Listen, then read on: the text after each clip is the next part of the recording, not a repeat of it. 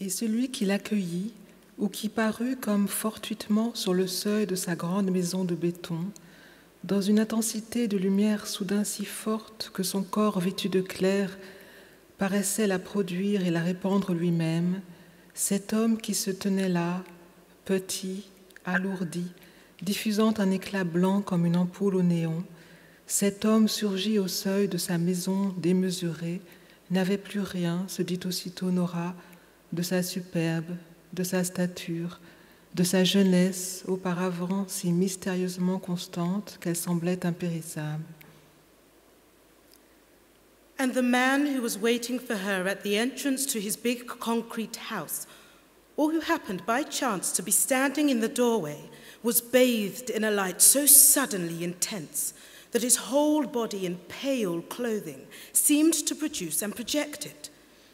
This short, thick set man standing there, glowing as brightly as a neon tube, this man who had just emerged from his enormous house, displayed no longer, nor Nora straightway realized, any of the stature, arrogance, and youth that was once so mysteriously characteristic of him as to seem everlasting.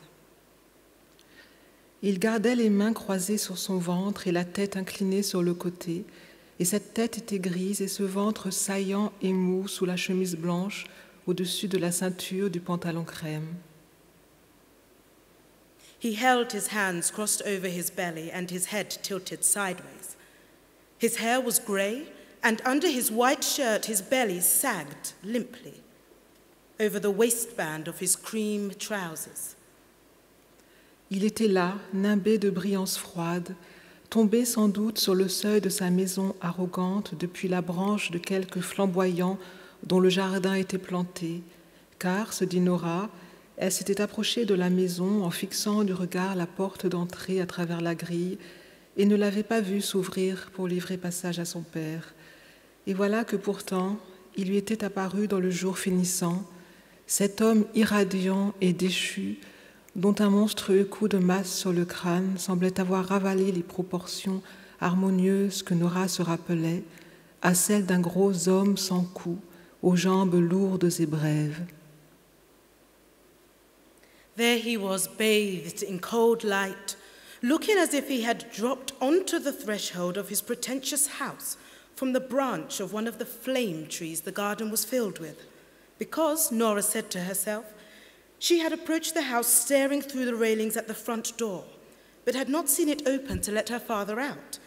And yet, there he stood in the sunset, this glowing, shrunken man who had, apparently, been dealt an enormous blow on the head that had reduced the harmonious proportions of Nora's recollection to those of a fat man with no neck and short, thick legs. Immobile, il la regardait s'avancer, et rien dans son regard hésitant, un peu perdu, ne révélait qu'il attendait sa venue, ni qu'il lui avait demandé, l'avait instamment prié, pour autant songeait-elle qu'un tel homme fût capable d'implorer un quelconque secours, de lui rendre visite. He stood there watching her as she approached. Nothing in his rather lost, rather hesitant look showed that he was expecting her or that he had asked even begged her to come and see him, insofar as a man like that, she thought, was capable of requesting help of any kind. Il était simplement là, ayant quitté peut-être d'un coup d'aile la grosse branche du flamboyant qui ombrageait de jaune la maison, pour atterrir pesamment sur le seuil de béton fissuré, et c'était comme si seul le hasard dirigeait les pas de Nora vers la grille à cet instant. There, quite simply, he was. He had perhaps flitted down from the thick branch of the flame tree in the yellow shade of which the house stood and had landed heavily on the cracked concrete of the doorstep. It was as if Nora had approached the railings at that instant by pure chance. Et cet homme qui pouvait transformer toute adjuration de sa propre part en sollicitation à son égard, la regarda pousser la grille et pénétrer dans le jardin avec l'air d'un hôte qui, légèrement importuné, s'efforce de le cacher, la main en visière au-dessus de ses yeux, bien que le soir eût déjà noyé d'ombre le seuil, qu'illuminait cependant son étrange personne rayonnante, électrique.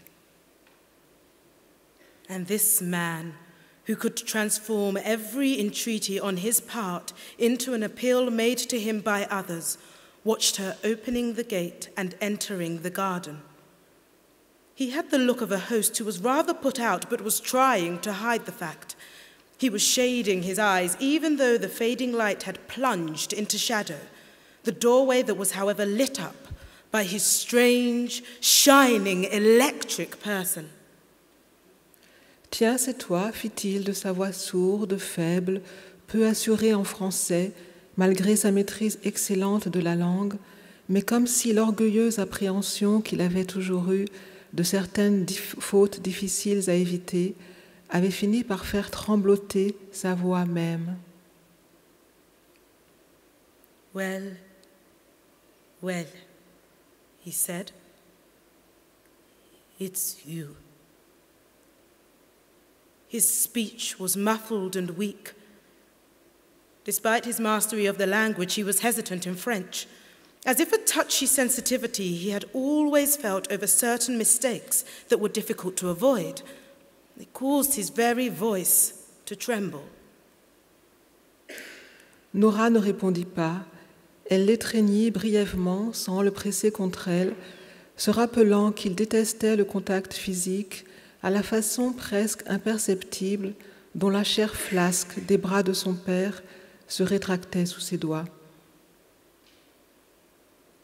Nora said nothing. She gave him a quick hug but did not hold him tight. From the almost imperceptible way the flabby skin on her father's arms shrank under her grasp, she remembered how much he detested physical contact.